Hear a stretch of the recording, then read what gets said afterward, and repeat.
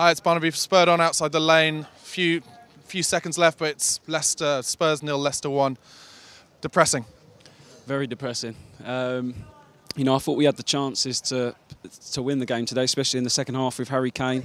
Um, Dele had a, a strike in, in the second half that I thought you know could have gone in. It's just the same as, as recent, you know, crosses, set pieces. Uh, we look vulnerable. Um, I didn't think we played bad tonight.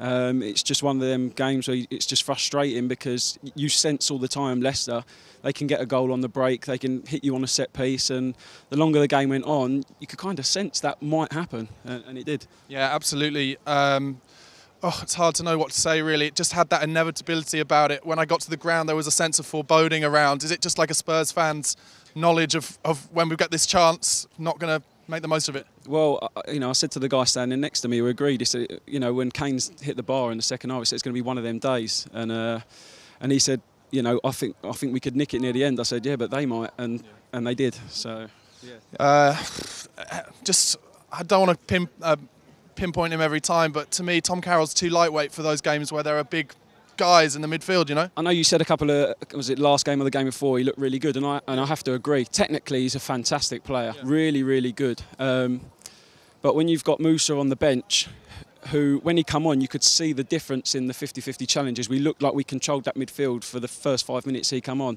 whereas before that it, we was losing it a little bit, but. Whether he was fit enough, I don't know. But if he's if he's fit enough, why why is he on the bench if he's not fit enough? So, yeah. Well, going to Sunderland at home next game, got to turn it round. Is that will that happen?